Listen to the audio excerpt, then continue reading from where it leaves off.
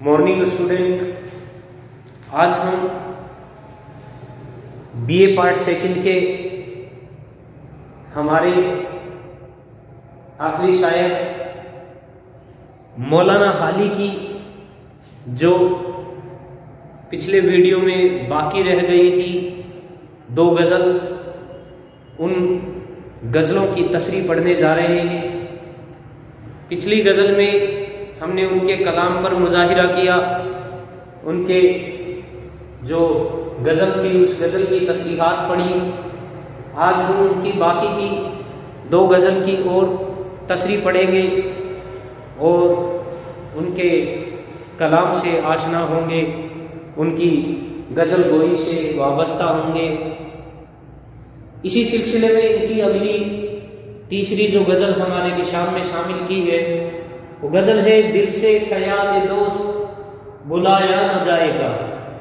दिल से ख्याल दोस्त भुलाया न जाएगा। आगा, इनका ये पहला मिश्रा है, इनकी तीसरी गज़ल का। सीने में दाग है कि मिटाया ना जाएगा। देखिए, पहला जो शेर है, वो यूँ है कि दिल से ख्याल दोस्त बुलाया न जाएगा, सीने में दाग है कि मिटाया न जाएगा। इस शेर में शायर अपने दिल की आरज़ू अपने दिल की, अपने महबूब की तरफ़ से मिला हुआ जो दाग है, उसे महफूज रखे हुए है। उस दाग के बारे में बयान कर रहा है और कह रहा है कि हमारे सीने में दोस्त, यानी ये महबूब, यानी महबूब की तरफ़ से मिला हुआ एक दाग महफूज है, जो कि हमेशा हरा रहता है। तो भला ऐसे दाग यानी जख्म के रहते हुए हम किस तरह अपने दोस्त के ख्याल को भूल सकते हैं, जबकि ये जख्म उसी की निशानी है। बिल्कुल इजी, सादा सलीस जबान में बताया है। अगला शेर इस गज़ल का। यहाँ देखिए, अगले शेर में तुमको हज़ार शर्म सही, मुझको लाख जब्त। तुझको हज़ार शर्म सही, मुझको लाख जब्त। उल्फत वो राज है कि छुपाया ना जाए। मोहब्बत के बारे में कह रहे हैं कि ये जो मोहब्बत, ये जो उल्फत है, वो ऐसा राज है जिसको हम छुपा नहीं सकते। किस तरह से देखिए, मोहब्बत की खूबी बयान कर रहे हैं कि ये एक मुश्क की मानिंद है। यानी एक ऐसी खुशबू है जो मुस्क सी खुशबू का दर्जा रखती है, जो कि अपनी मौजूदगी का एहसास करा ही देती है। महबूब से कह रहे हैं कि तुम शर्म से इसको छुपाओ मैं जब्त करने की पूरी कोशिश करूँ, लेकिन इस मोहब्बत का राज इसकी खुशबू की वजह से ज़ाहिर हो ही जाता है। यानी मोहब्बत की जो खुशबू है, वो ऐसी खुशबू है जो ज़ाहिर होने वाली खुशबू है। और आखिरकार कितना ही इसको जब्त करने का, कितना ही इसको छुपाने की कोशिश करूँ आखिरकार ये ज़ाहिर हो ही जाता है। तीसरा से, ए, दिल रजाए गे रहे शर्त रजाए दोस्त। ए, दिल रजाए गे रहे शर्त रजाए दोस्त। जा निगार, बार इश्क उठाया न जाएगा यह शायद अपने दिल से कह रहे हैं कि ऐसा इश्क जो कि किसी के रहमो कर्म पर हमको मिले, उसको हम पसंद नहीं करते, क्योंकि उसमें रकीबों की खुशी को, महबूब की खुशी के लिए शर्त करार दे दिया तो हमको ऐसे इश्क से कोई मतलब नहीं है। यानी ऐसा इश्क हमें नहीं चाहिए, जो हमें रहमो करम पर मिला हो। चौथा से देखी है ऐसी उनकी बहुत मेहरबानियाँ। देखी है ऐसी उनकी बहुत मेहरबानियाँ। अब हमसे मुँह में मौत के जाया मुतरन लफ्जों का इस्तेमाल किया है और साथ ही मुतरन बहरे इस्तेमाल कर रखी है। बहुत बेहतरीन गज़ल लिखी है। यहाँ देखिए, जो शायर है, उन्होंने शेर में साफ़ कर दिया है। कह दिया है कि महबूब की मेहरबानी की आड़ में नीयत पर तंज करके बयान कर रहे हैं कि हमने ऐसे लोगों की बहुत सी मेहरबानियाँ देखी है। कि मेहरबानी और मोहब्बत जताकर दुश्मनी निकालते हैं तो ये सब कुछ जानते हुए हम महबूब के हाथों मौत के मुँह में किस तरह जा सकते हैं। यानी हमें पता है कि वो दुश्मनी निकाल रहे हैं हम पर मेहरबानी जताकर हमसे मोहब्बत जताकर। पांचवा शेर। राज़ी है हम के दोस्त से, हो दुश्मनी मगर। राज़ी है हम के दोस्त से, हो दुश्मनी मगर। दुश्मन को हमसे दोस्त बनाया ना जाए। शायर साफ़ तौर पर कह रहे हैं कि हम इस बात पर राज़ी हैं कि अपने रकीबों की तरफ़ दोस्ती का हाथ हमसे नहीं बढ़ाया जा सकता यानी, हम इस बात से बहुत खुश होते हैं कि हम जो हमारे रकीब हैं, उनकी तरफ़ कभी दोस्ती का हाथ नहीं बढ़ा सकते। अब अगर इस जुर्म में हमारे अपने ही हमारी मुखालिफत करते हैं, यानी हमारे अपने ही, हमारे रकीबों से दोस्ती करते हैं तो हमको उनकी दुश्मनी और मुखालिफत तो मंजूर है। लेकिन ये मंजूर नहीं कि अपने ही रकीब से दोस्ती कर लो। हमें ये मुखालिफत मंजूर है कि हमारे अपने, हमारे रकीबों से, हमारे दुश्मनों से हाथ बढ़ाकर दोस्ती कर ले। उनके जुल्म सितम हमें मंजूर ये कतई मंजूर नहीं करेंगे कि हम खुद अपने रकीब की तरफ़ दोस्ती का हाथ बढ़ा अगला से मैं तंद व जरफ हो सलाए अहले बजम तंग। मैं तंद व जरफ हो सलाए अहले बज्म तंग। शाकी से जाम भर के पिलाया न जाए। मैं से मुराद शराब यहाँ शायद कह रहे हैं कि महफिल में जाम हुए सबों का दौर चल रहा है। लेकिन मैं बहुत तेज और शदीद है, जबकि उसके मुकाबले में अहले बजम के हौसले निहायत कम और तंग है। यानी जो शराब है,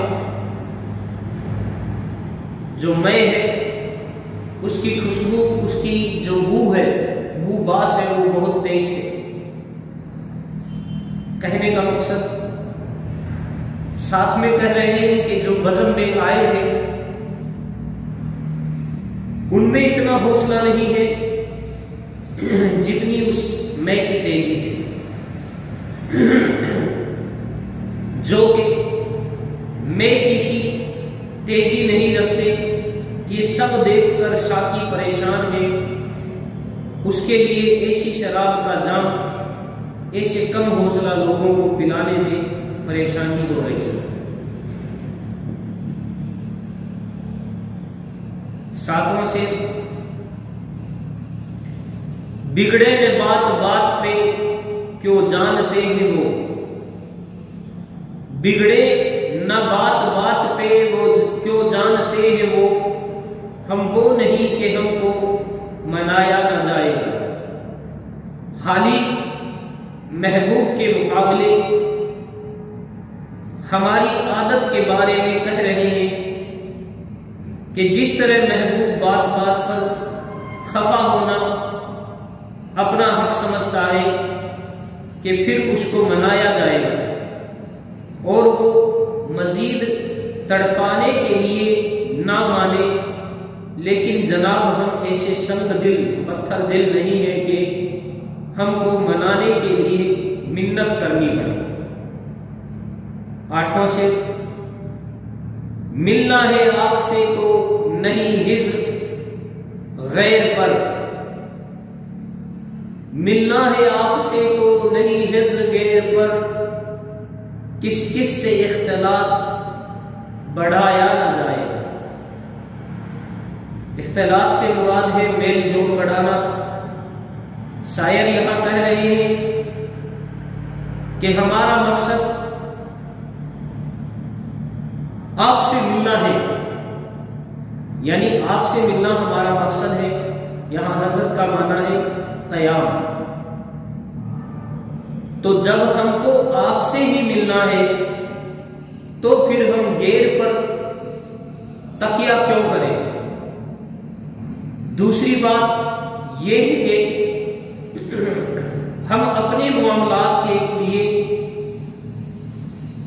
दूसरे लोगों से मेल जोल क्यों बढ़ाएँ, जो कि हमारे मोहब्बत के लिए नुकसानदाह साबित हो सकता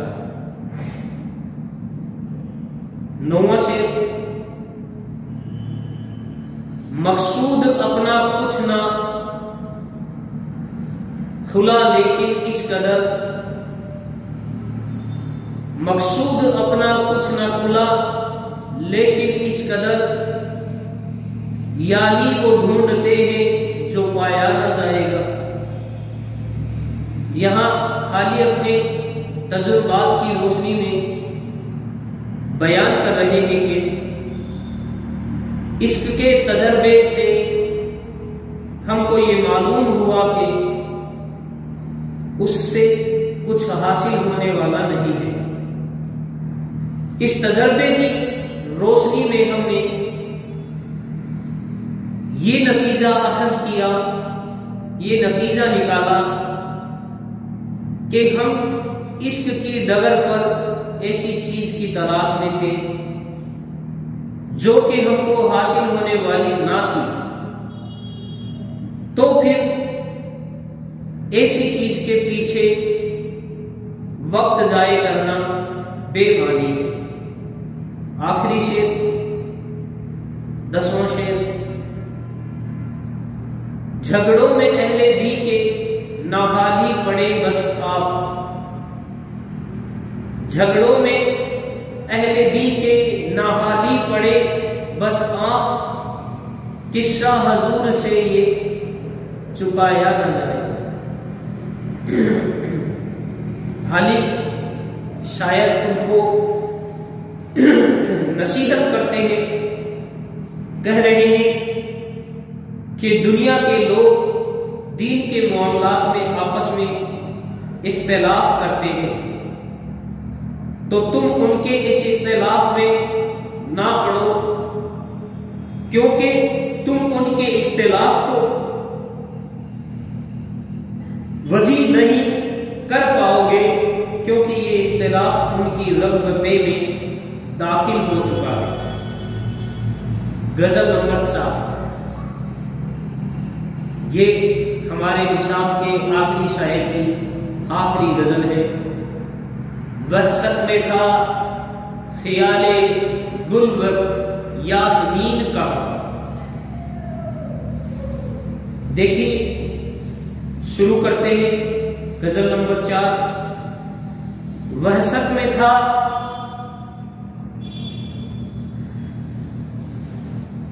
वह सत में था, ख्याल गुल यासमीन कहा? लाई है बुए अनस नशीम चमन का यहाँ बुए अनस यानी मोहब्बत की खुशबू। माना क्या होता है? मोहब्बत की खुशबू। वहसत दीवानगी। पहले भी पढ़ चुके हैं, इस लफ्ज के बारे में हम कई शायरों में यह शायर अपनी दीवानगी की हद तक बता रहे हैं। कि हमको अपनी दीवानगी में किसी तरह का और किसी का होश भी ना था। लेकिन जब इस दीवानगी के आलम में हमको अपने महबूब की मोहब्बत भरी खुशबुदार हवा का एहसास हुआ तो दीवानगी में कमी आई। हम पे नसीम चमन का एहसान है, नसीम चमन से मुराद है, चमन की हवा। इसका हम पर एहसान है कि वो हमारे महबूब की खुशबू लेकर आए। दूसरा शेर है बंदगी के साथ यहाँ जोक दीद भी।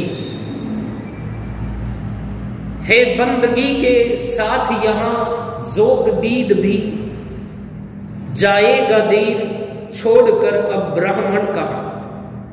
यानी दीर से मुराद है मंदिर, यानी मंदिर को छोड़कर आखिर ब्राह्मण कहाँ जाएगा? बंदगी के साथ यहाँ जोक दीद का भी लगा हुआ है। यहाँ तस्वीर बड़ी अजीब और अलग तरह की तस्वीर दी है। इनकी तस्बीहात बहुत ही बेहतरीन तस्बीहात हुआ करती थी।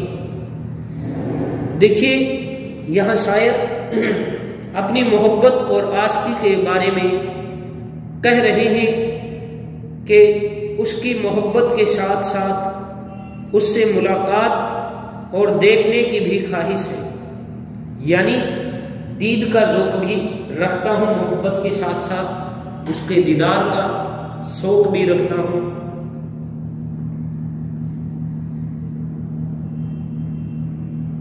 जो शख्स इश्क के मंदिर में सनम के साथ बैठा हुआ हो तो फिर उसको तो एक ही जगह इबादत और जोक दोनों हासिल हो रहे हैं। तो फिर भला वो इस मकाम को कैसे छोड़कर जा सकता है? तीसरा शहर। तीसरे शहर में लिखते हैं अहले तरीक जिसको समझते हैं जाद राह। अहले तरीक जिसको समझते हैं जाद राह, वहाँ दखल दस्त व बर्द को ए रहजन, राहजन कहा। यहाँ कुछ लफ्ज आए हैं, दस्त व बदल बरत, यानी खयानत घबन ज़्यादा राह, यानी रास्ते का खर्च। लिखते हैं शायद अहले तरीक का माना अहले मज़हब, पहले दीनी बसीरत रखने वाले लोग। जिस चीज़ को अपनी ज़िंदगी की कामयाबी का ज़रिया, यानी ज़्यादा राह खर्च समझते हैं, वो तो बिल्कुल महफूज है। क्योंकि यही चीज़ ऐसी है कि जहाँ किसी तरह का कोई गबन या फिर लूट मार का अंदेशा नहीं होता है। और इंसान इस दौलत नामाए अमाल के साथ बेखटक निकल जाता है। अगला शेर, फसले खिजा कमी में है सयाद घात में। फसले खिजा कमी में है, सयाद घात में। मुर्ग जमन को फुर्सते शेरे चमन कहा। यहाँ इजी लफ्ज इस्तेमाल कर रहे हैं, बहुत ही सादा सलीस इनकी तस्वीर हुआ करती थी। बहुत आसान जबान, आम फहम जबान का इस्तेमाल करते थे। देखिए, सयाद घात यानी सयाद से मुराद है, शिकारी और फ़सलें खिजा, यानी पतझड़ का मौसम या खिजा का मौसम। शायद मुर्ग चमन, यानी बुलबुल, यानी आशिक। बुलबुल से मुराद है आशिक। की मजबूरी की तरफ़ इशारा कर रहे हैं कि बेचारा मजबूर होकर हर तरफ़ से घिर चुका है कि इधर मौसम खिजा, चमन की वीरानी के दर पे है तो उधर सयाद शिकारी उसकी घात में बैठा है। इस वजह से इस बेचारे ने चमन की शेर करने का इरादा ही तर्क कर दिया। अगला शेर। लाता है दिल को वज्द में एक हर्फ आशना लाता है दिल को वज्द में, एक हर्फ आशना, ले जाए हमको देखिए जोके शुकन कहा यहाँ वज्द यानी बेखुदी, सरमस्ती से इस्तेमाल लफ्ज का मानी है। महबूब से आसनाई का एक हर्फ ही महबूब से आसनाई का एक हर्फ ही हमारी बेखुदी और दीवानगी के लिए काफ़ी है, क्योंकि वो हमारे महबूब से मुतालुक होता है। अब देखना यह है कि ये हर्फ आशना हमारी शायरी के ज़ोर को किस हद तक लेके जाता है, और दिल में वजद की कैफियत बरकरार रहती है। छठा से, जी ढूंढता है बज्म तुर्ब में उन्हें मगर। जी ढूंढता है बज्म तर्ब में उन्हें मगर। वो आए अंजुमन में तो फिर अंजुमन कहा? शायर अपने महबूब के लिए कह रहे हैं कि कोई भी बज्म तर्ब हो, वहाँ अगर महबूब ना हो तो फिर बज्म की खुशी कायम नहीं रहती। यानी लिखा है, देखिए, वो आए अंजुमन में तो फिर अंजुमन कहा? यानी लिखते हैं कि वहाँ अगर महबूब ना हो तो फिर बज्म की खुशी कायम नहीं रहती। लेकिन जैसे ही वो बज्म में आते हैं तो वो अंजुमन अंजुमन ही नहीं रहती। क्योंकि लोग उनको देखकर सब कुछ रंगीनी भूल जाते हैं और सबके निगाहें उसी क्षमा की तरफ़ उठती हैं। देखिए शायर ने बात को किस तरह से इसमें पेश किया है। यानी जब हमारे महबूब अंजुमन में नहीं आते हैं तो अंजुमन बे अंजुमन का जो रौनक रौनक है, वो बेरुखी सी लगती है, बेरोनकी सी लगती है। और अगर जब अंजुमन में हमारे महबूब आ गए तो फिर वो अंजुमन अंजुमन ही नहीं रहती। यानी सबकी जो निगाहें हैं, सबकी जो तवज्जो है, वो किसकी तरफ़ मरकूज हो जाती है? महबूब की तरफ़ हो जाती है। और महबूब ही उस अंजुमन की शमा या वो एक शमा की मानिंद उसमें निगाहें हैं जो उसी शमा की तरफ़ उठती है। दिल हो गया लज्जत गुर्बत से आसना। दिल हो गया लज्जत गुर्बत से आसना। अब हम कहा? हवाए निशात चमन कहा? अपने दिल की कैफियत के ताल्लुक से कह रहे हैं कि मेरा दिल अब गुर्बत की तकल्लुफ, तकलीफ़ का आदि हो गया है। यानी हर तरफ़ की तकलीफ़ बर्दाश्त करने की सलाहियत मेरे दिल में पैदा हो गई है। अब ऐसे वक्त में चमन की खुशी भरी हुआ हमको कहाँ मिल सकती है? यानी जो चमन की खुशी भरी हुई हवा है, वो हमें कैसे मिल सकती है? कहाँ मिल सकती है? अब तो ये खाद की बातें हो गई हैं। ये तो अब सिर्फ़ खाद ही रह गया है कि हमें चमन की खुशी भरी हुई हवा मिलेगी। आठवां शेर कहता है, खेर, हम भी सही दुश्मन आपके। कहता है, खेर, हम भी सही दुश्मन आपके। सिकवे को ले गया है बे दाद फन कहा? हमने जब अपने महबूब का शिकवा किया, शायर यहाँ कह रहे हैं, यानी बेराद फन का माना है फन का दुश्मन, बेराद फन। लिखते हैं कि हमने जब अपने महबूब का शिकवा किया तो सख्त नाराज़ हो गया और अपने आप को हमारा दुश्मन समझकर बाकायदा इसका ऐलान कर रहा है। उस पर हाली अफसोस कर रहे हैं कि वो दुश्मन फन, वो दुश्मन फन हमारे शिकवे को किस अंदाज से ले रहा है। आखिरी शेर, रोका बहुत कल आपको हाली ने वहाँ मगर। रोका बहुत कल आपको हाली ने वहाँ मगर। जाता है महो शोक का दीवाना बन कहा।